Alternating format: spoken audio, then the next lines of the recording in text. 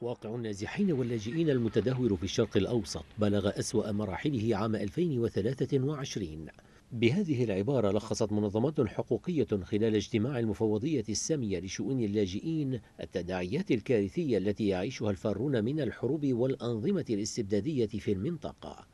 المنظمات الحقوقية تطرقت إلى أحوال النازحين واللاجئين في دول عدة من بينها العراق الذي وصفت فيه الواقع الإنساني لأكثر من مليون ومئتي ألف نازح بالقاتم.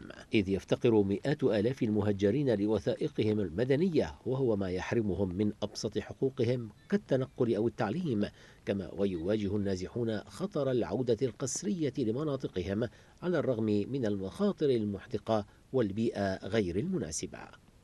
بينما لا يزال اليمن يعيش أحد أسوأ الأزمات الإنسانية في العالم وسط استمرار القيود المستمرة على وصول المساعدات الإنسانية من قبل ميليشيا الحوثي وتهديد أمن عمال الإغاثة في بلد سيحتاج فيه نحو 22 مليون شخص إلى المساعدات الإنسانية خلال العام الحالي بحسب تقدير المنظمات الحقوقية. أما أوضاع السوريين في عام 2023 فلا تقل مأساوية عن الأعوام السابقة بل على العكس تماما إذ تسبب الزلزال الذي ضرب شمالي البلاد شهر شباط الماضي في أزمة مركبة وخسائر بشرية فادحة ودمار واسع النطاق وستمتد آثاره إلى الأجيال المقبلة وفق منظمات حقوقية.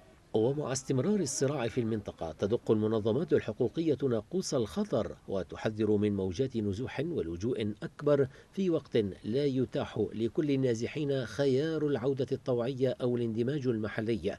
وسط تضاؤل فرص إعادة التوطين إذ تتبع الدول الغربية إجراءات لجوء أكثر تقييدا.